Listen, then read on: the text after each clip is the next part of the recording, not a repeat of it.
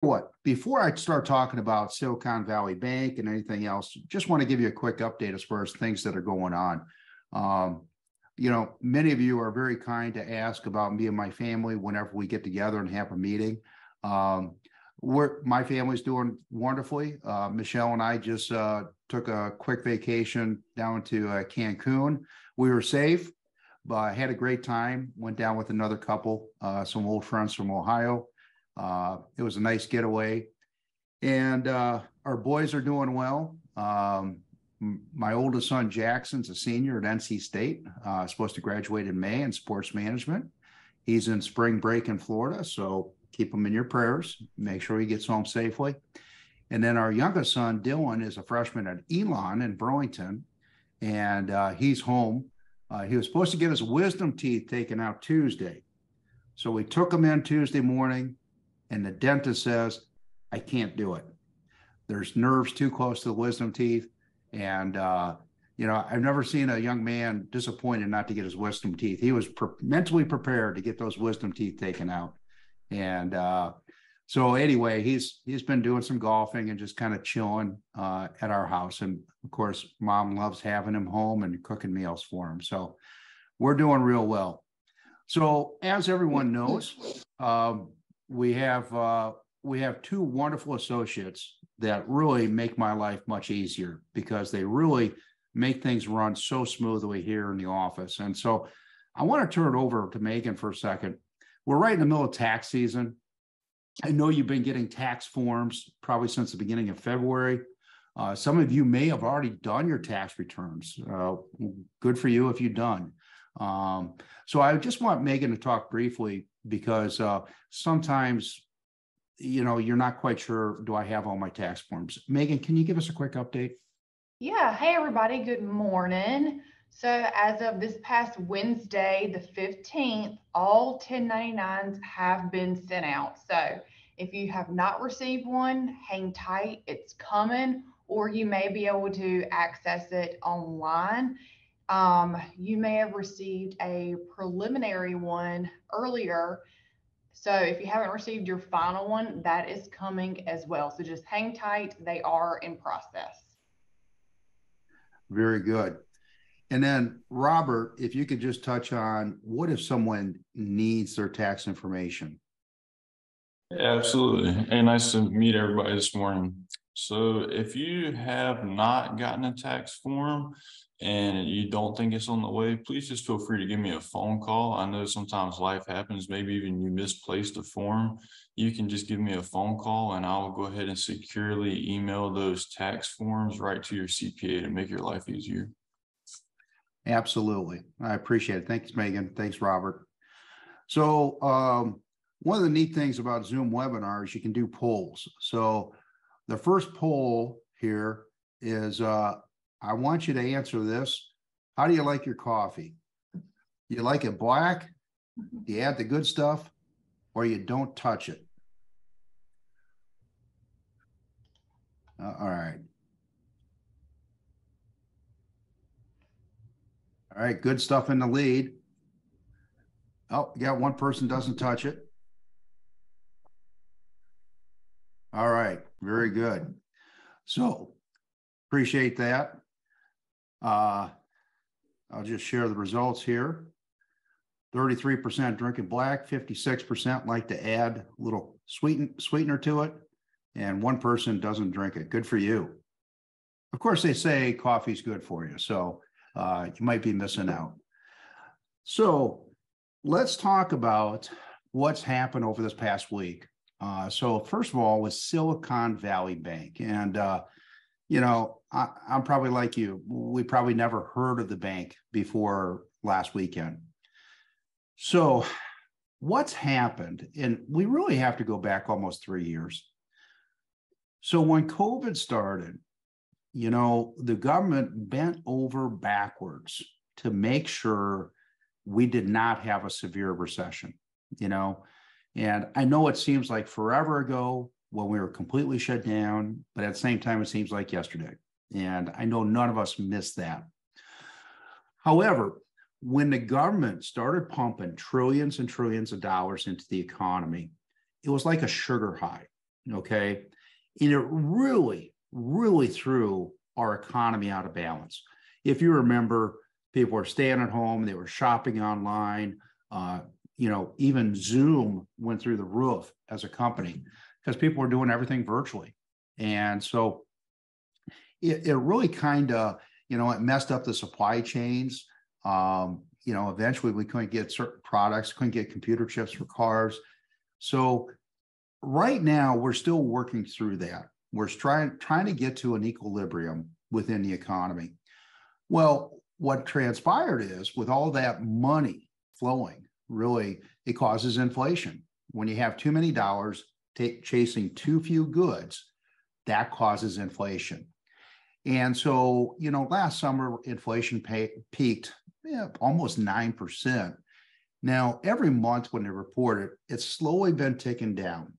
And inflation's, I think they came out this week, year over year, it's up about 6%. So it is declining, but you know, we've been used to one to 2% inflation. So, you know, 2% versus 6%, that's still a pretty large gap. And I know you've seen it. Boy, you go to the grocery store, you talk about eggs and milk. Um, you know, it, you just you go to the restaurants. I mean, you can't have lunch. Uh, you know, simple lunch. You can't have a lunch for less than twelve bucks. Um, so, you know, we got to get this inflation out of the system. Well, that's why the Federal Reserve has been increasing interest rates. You know, for really the past almost twelve months now, and um, so, you know, what happens at these banks is you know, before the the inflation and the Fed raised rates, interest rates were basically zero. Okay. So if a bank takes in deposits, they got two things they can do with that money. Number one is they can loan it out to their customers in the forms of loans, mortgages, business loans, student loans, things like that. The second thing a bank can do is they can invest that money. Now, they can't be crazy with it. There's some regulations they have to follow, but most times, banks will take those, what they call excess reserves, and they'll buy bonds. And um, usually they're treasury bonds, which is considered really the safest investment in the world uh, because of the taxing authority of the United States government. Well, the average bank has about 15 to 20% of their reserves in bonds, government bonds, 15 to 20%. Um, Silicon Valley Bank had 60%, 60% of their money in government bonds. But here's the problem they took that money, you know, over the last three years, um, and they bought 30 year government bonds paying less than 1%. Let me repeat that. They bought 30 year government bonds paying less than 1%.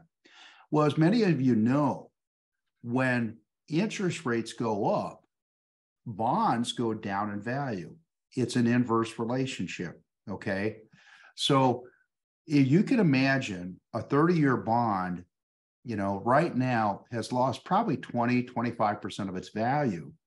Because who's going to buy a 30 year bond at half of a percent? When you can get, you know, five, four and a half percent on a six month treasury bill right now? So they had um, they had a bond portfolio that was severely down in value because of rising rates. And so they weren't able to create they weren't able to create the liquidity they needed for their customers okay so they had to sell some of these bonds at steep steep losses and you, i think it was about 1.8 billion of losses okay so it was really poor poor management on behalf of this bank. And, um, you know, there was a couple other things that they did. Um, many of their clients, and you can imagine Silicon Valley, they had, I think, about 30,000 businesses that banked with them. And these were relatively good sized businesses. Um, and those businesses um, have large deposits because if you run a business, you know, you you don't keep 50,000 in the bank. You keep 3 million, 5 million in the bank because you got to meet payroll. Okay. Well, we all know you're only insured up to $250,000. So they have big depositors And I think there was, what I've heard is about ninety percent of their deposits were not insured, meaning they were over the two fifty. So only ten percent of their deposits were insured, which is way, way um, uh, skewed compared to most banks. The other thing is they're lending money to startup companies out in Silicon Valley. Well, these Silicon, when when interest rates go up, the economy goes down. These startup companies require huge amounts of cash, and so they had to borrow more money. And so it just that's why they were having to create some liquidity for these uh, startup companies. So it was just kind of a confluence of events, uh, but it was very poor management on behalf of the bank. Now, we heard yesterday and last night that there's a bank called, I think, think it's First Republic, that was injected with uh, tens of billions of dollars from other banks. So think about it. Um, first of all, over the last 30 years, the number of banks in the United States has gone from about 8,000 down to 2,500. There's simply not as many banks as there used to be. Um, so what we're seeing here is the banking community uh, think of the JP Morgans, the Morgan Stanleys, the Bank of America. They don't want to see these other banks fail because then if if one fails, two fails, three fails, then it becomes a cascading effect because banking is based on a lot on trust. We trust that when we go to the bank, they're going to have our money. Okay. If they don't, then they've broken that trust. And then that's when you have a run on the bank. So these banks injected, I think it was either 20 or 30 billion dollars into First Republic last night, uh, just to prop that bank up to make sure it didn't have to go into receivership under the FDIC. So, you know, the question is, is this a one-off? You know, these one, two, or three banks that we're seeing, or is it, you know, canary in the coal mine? Is it going to be a cascading effect? Are we going to see many more banks fail? Well, one thing I want to point out is that whenever you have economic distress, market distress, like we've had over the past 12 months, things like this happen. Um, back in the 89, 90, we had the savings and loan crisis.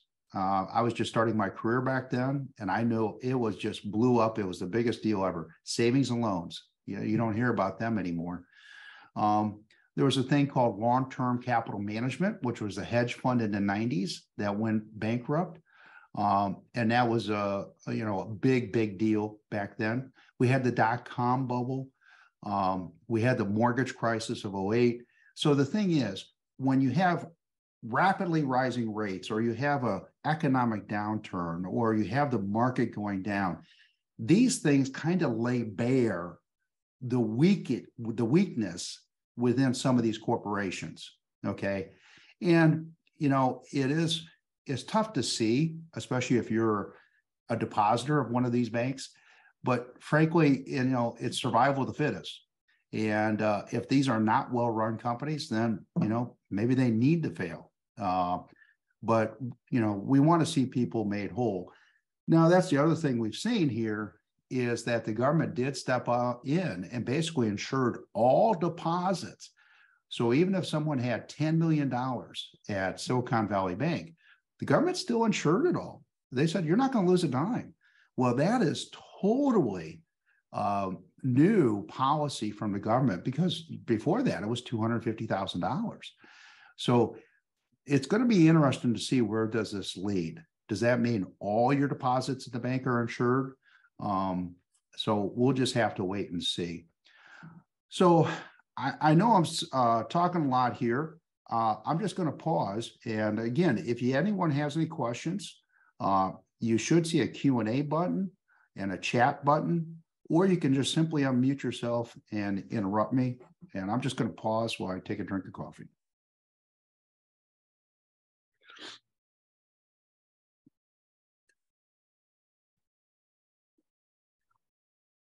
I should have said at the beginning, this is supposed to be interactive.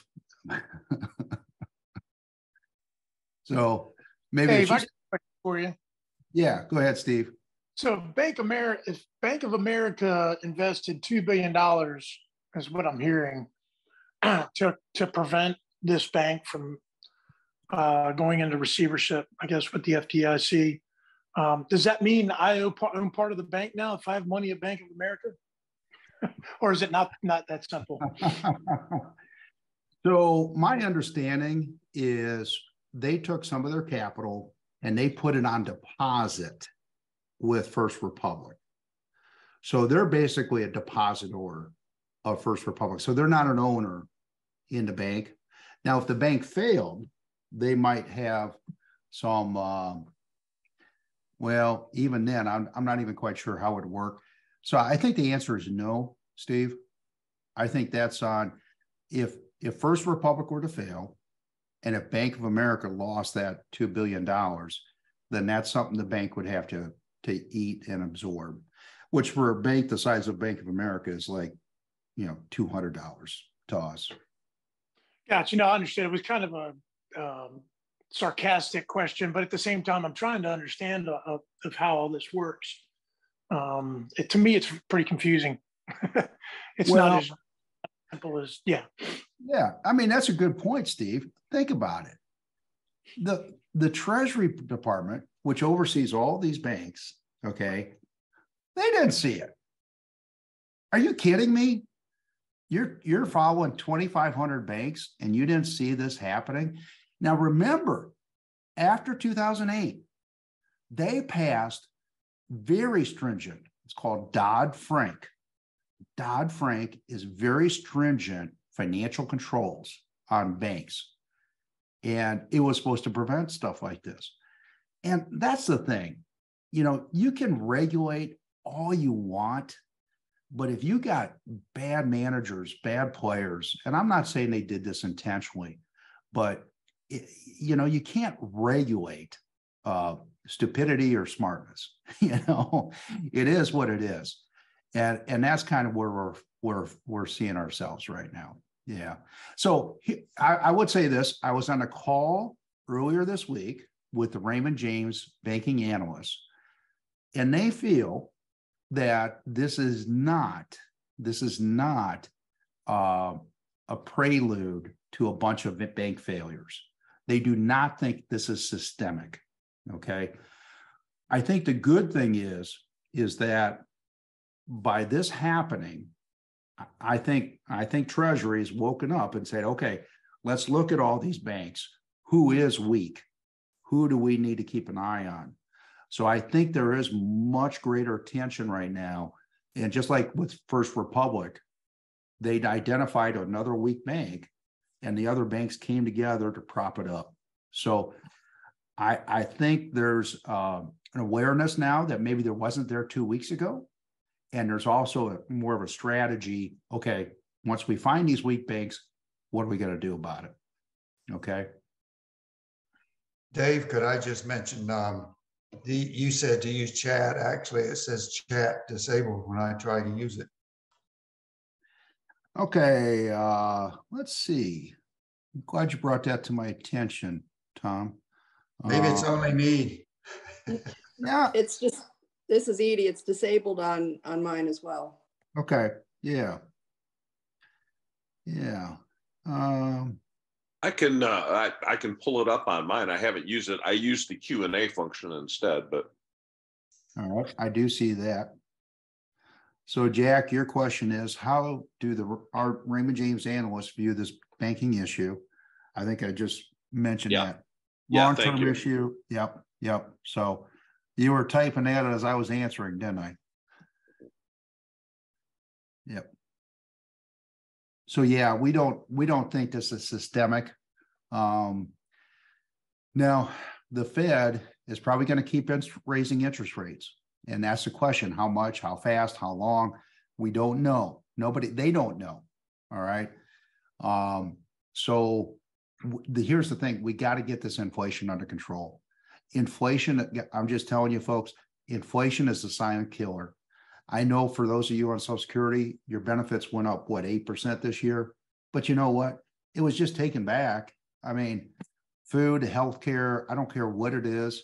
It, it, it, it, you're just keeping pace, you know?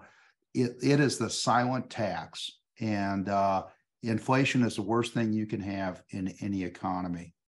Um, Dave, could I ask a question about the uh, bank failing out in California? So Sure. um, I understand bad investments and somebody did that, some of the investors. What about the board of directors? Wouldn't they Yeah. have been able to catch something like that? Yeah, that's a good point. So what I've read, and maybe you've seen some of these articles too, is that uh, the board of directors was basically um, kind of like the friends or uh, political donors uh, that matched up with the CEO. Uh, so it was not an effective board. It was not a very experienced board. Uh, most of them were large political donors. Um, many of them were friends of the CEO. And again, I, I hate to say it, when when something is poorly run, it's eventually going to be found out. And so you are exactly right, Tom.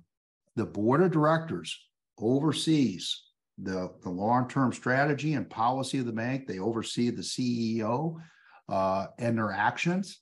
And they were basically AWOL during the whole thing. So uh, hopefully other boards are much more engaged in, in, in their oversight. Absolutely. Um, I want to do another poll here. So stop sharing. So here's the next poll. I believe in 2023, the stock market will end higher and lower be pretty much flat.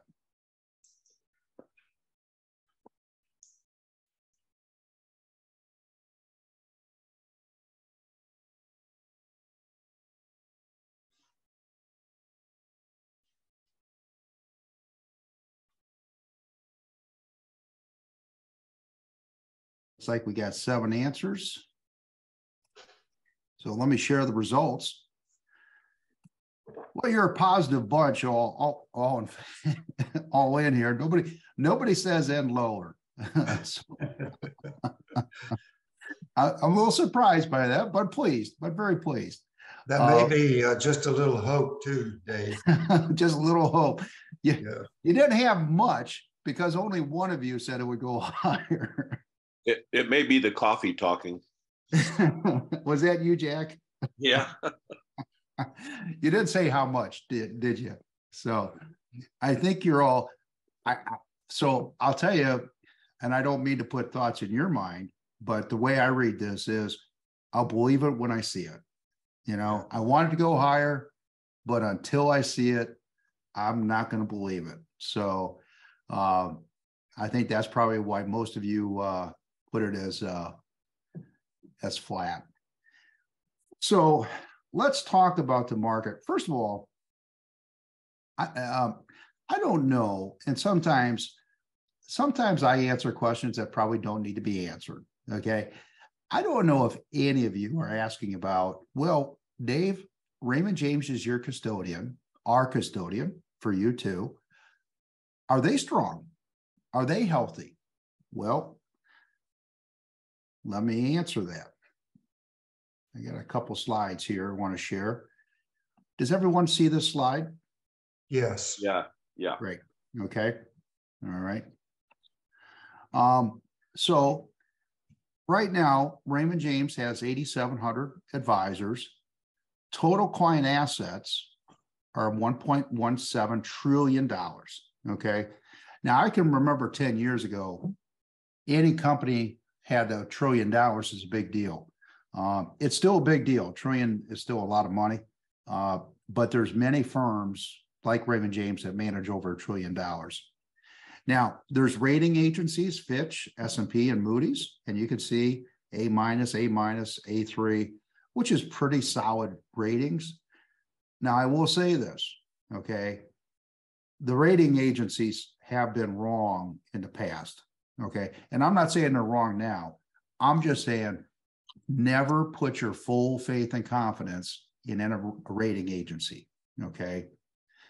Um, now, Raymond James is a publicly traded company. And for 140 consecutive quarters, they've been profitable. Okay. And that's that's pretty solid. I think that means something. Then they talk about strength. And, and this is kind of like with banks. There's a thing called capital ratio and tier one leverage ratio. And I'll be honest, I looked up both definitions of those, and it's a little bit over my head, folks. I'm not a banking regulator, I'm not an accountant. All I can tell you is that the regulators, okay, require 10% capital ratio. Raymond James is at 20.4 or two times above the required. Tier level, tier one leverage ratio, the regulators require 5%. We're at 10.3%, which is two times the requirement, which is good. okay, it's not bad, it's good. So just want to let you know that that Raymond James has been well capitalized um, even back in 08 when like Merrill Lynch failed basically and had to get bought out by Bank of America. Raymond James didn't have to go through any of that. So I, I just want you to know that your custodian, Raymond James, is, is very solid and they do a they do a good job. So um I get my controls back.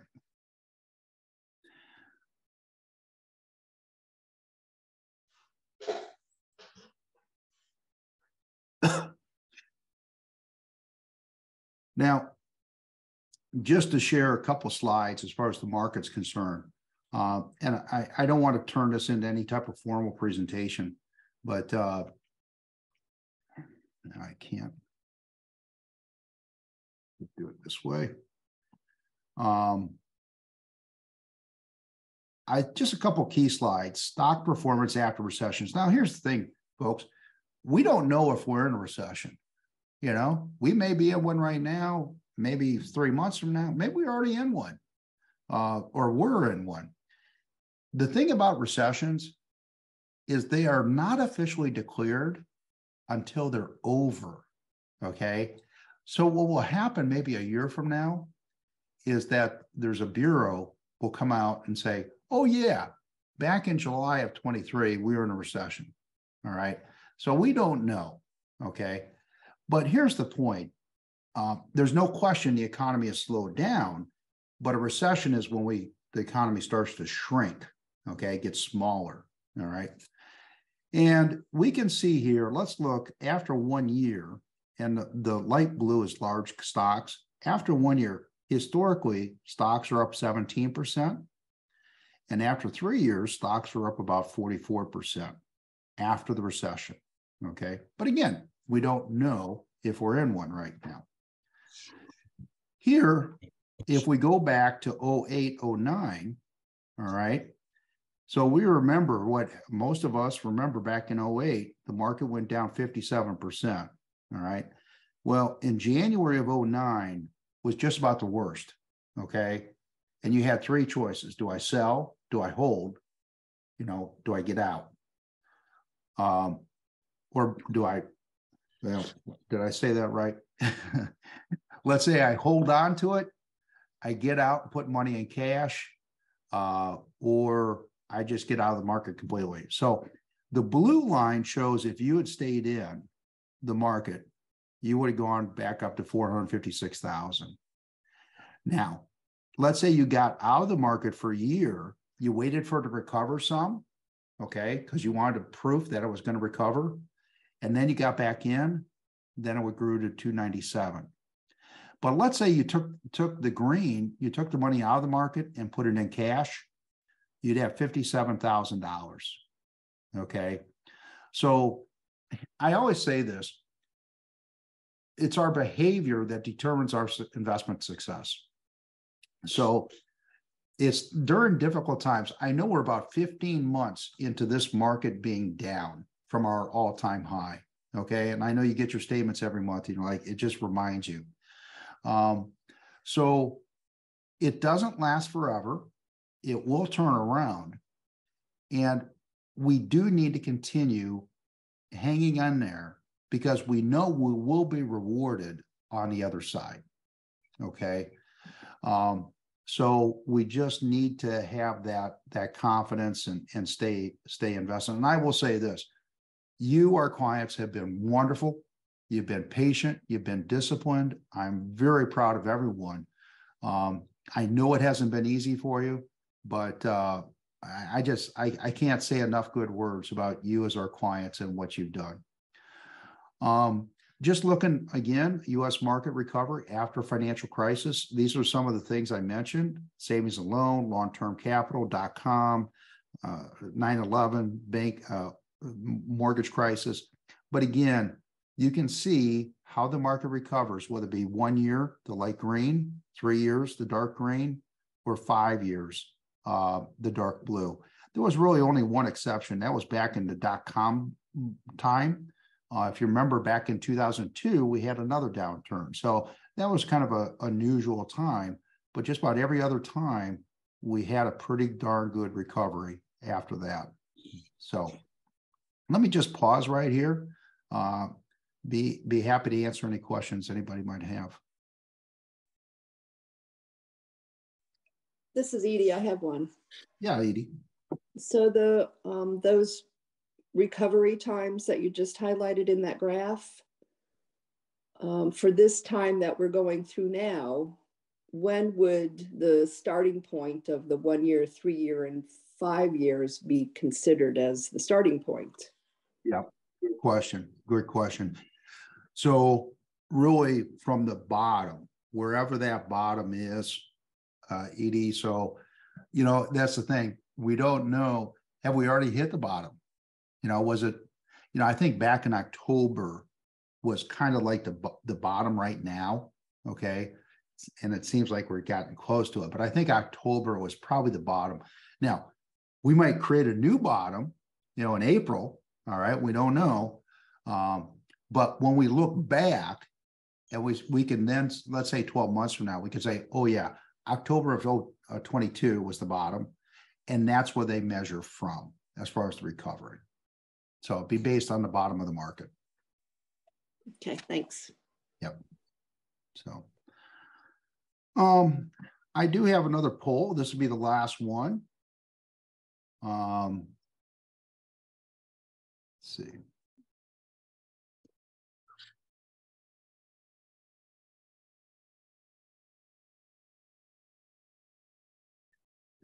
Do you all see it yet? No, No, you don't, do you? No, Okay.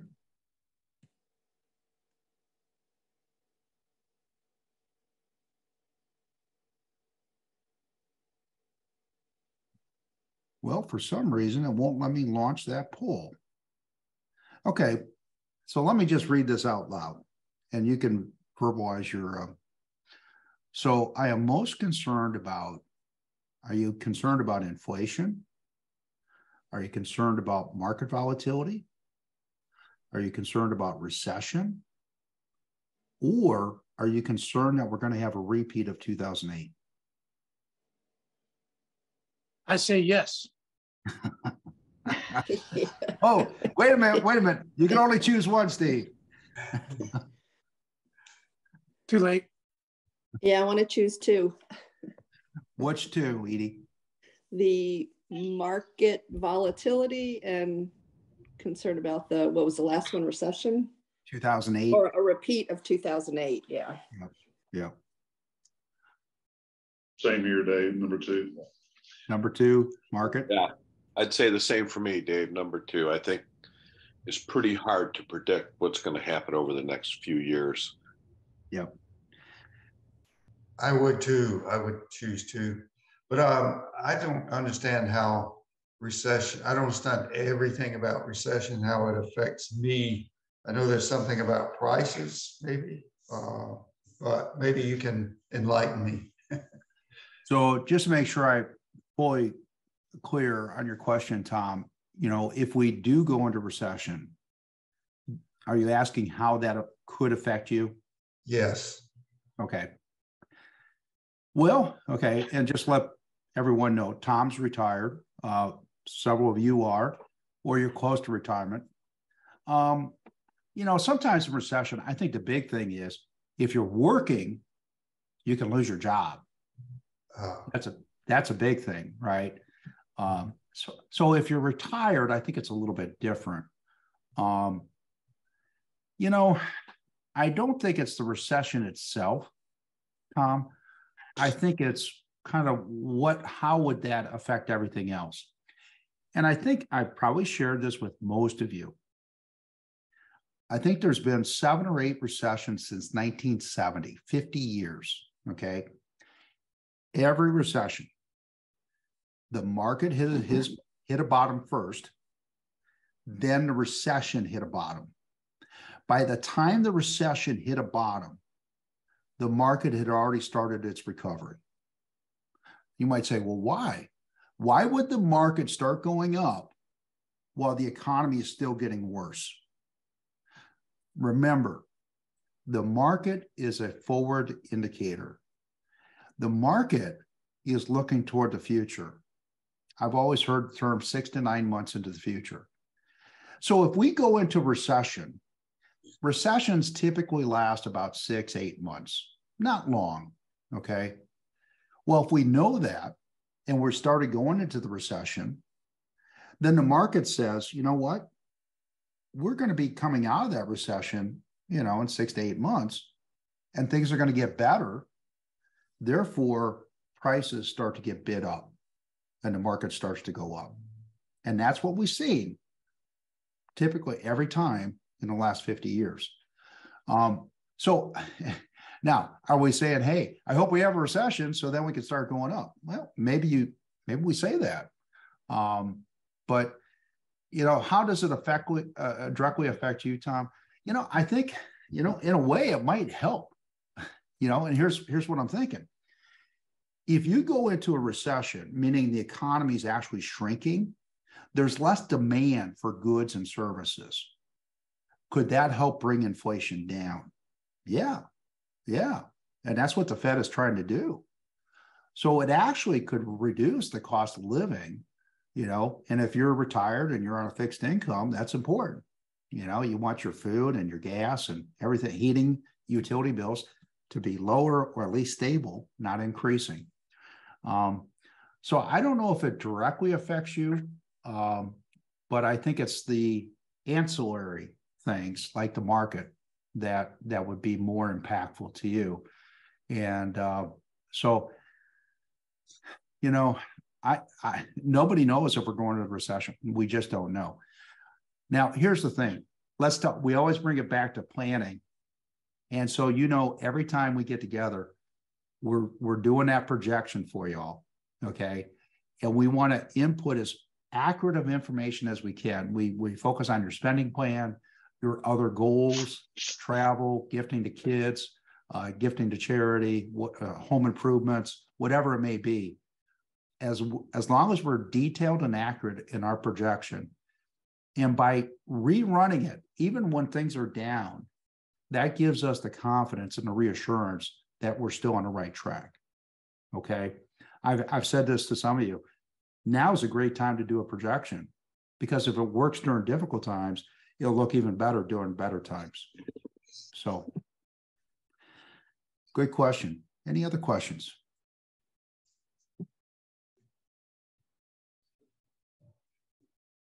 Dave, a question for me, and I have a hard time understanding, uh, maybe you can elaborate, is you see the impact that the job numbers are having on the market and decisions that are being made. It's kind of counterintuitive to me a little bit that when you see such strong growth in the job market, that it's having, I'll say, somewhat of a negative impact.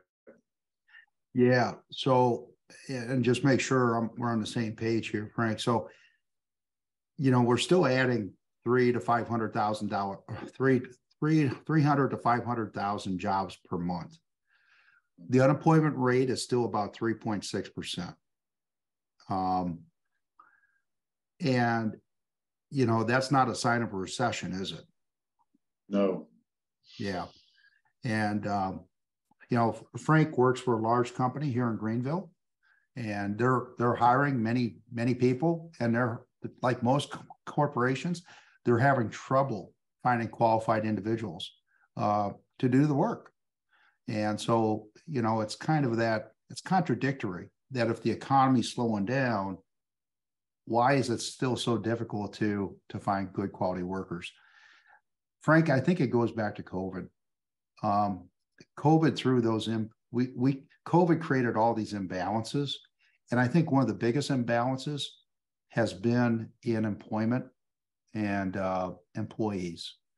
And so, I don't know the answer. I you know some of this stuff. I so I started. I really started following the markets around 1980. And if you remember, that's when interest rates were 16, 18%. We had super high inflation. Okay. Uh, the markets hadn't been doing well in the 70s. I got into the business in 88. All right. Um, so I would say right now, the closest analogous period we have is the early 80s. And we have not seen a period like this in, is that 50 years? Okay. Or 40 years. Um, so I'll tell you what, I think even the experts don't quite understand or grasp everything that's going on right now. So, Frank, I wish I had a better answer for you, but I I don't know if anyone knows. Mm, No, thanks, Dave. Um, It just What- seems, it seems counter to, you know, I mean, the Fed, listening to them talk about it, that they, they, they, I mean, maybe the job rate, uh, is somewhat out of control and they want to bring it, but they're, it's like they're purposely trying to figure out ways to reduce the job growth number, which well, I, I don't think I don't, I don't know. Yeah. I don't know if that's their direct intent is to slow the job growth. Um, I do know that wages, and you could probably attest to this, Frank, you, you got to pay more for these workers, don't you? Oh, yeah, we're, we're, yeah, that's a struggle. Most of the businesses, I think, are, you know, even from the restaurants here, you know, minimum wage all the way up to what we're, we're having to, uh, offer just because it's such a competitive job market. Yeah. Yeah, and that's inflation. Wage growth is inflation. Um, because companies have to pass those costs along to their consumers, whether it be other businesses or us, the retail public. Um, so I think when the Fed is raising these interest rates, they're trying to get the whole economy to just kind of cool off, to slow down. And now remember this when the Fed raises interest rates, it takes a while for these higher rates to have an effect. There's a lag. Okay. So it's not like you raise rates today and all of a sudden, boop, things stop. No. So, you know, even now, the I mean, the mortgage rates around, around six, seven. Um, but the Fed funds rate, which is what the Fed adjusts, is around four and a half, five.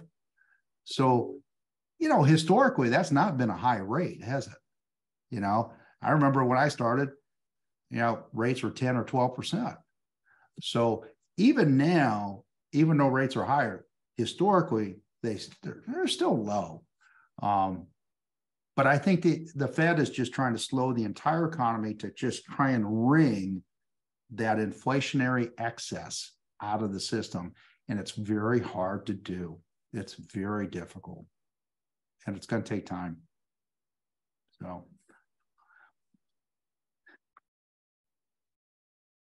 Any other questions?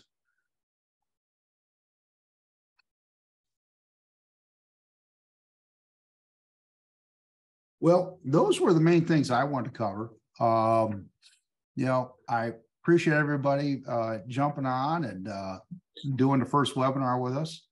Uh, when we exit here, you're going to have a poll uh, just to say, is there something we should do again? And uh, just be honest, you know, if you enjoyed it, say yes. If if not, just say no. Um, we we would love to stay in touch. Um, we just think this is kind of a kind of a community, you know, that we can get together and share concerns and questions. Because you know, if you're thinking it, I, I guarantee you, someone else is thinking the same thing. So I hope everyone has a great weekend, and uh, whatever you're doing, uh, do it safely. And uh, we'll talk to you all in the very near future. So thank you, everyone. Thanks, Thank Dave. you. Ciao, everybody. Take care now. Bye. Thanks, Dave. You're welcome. Bye-bye.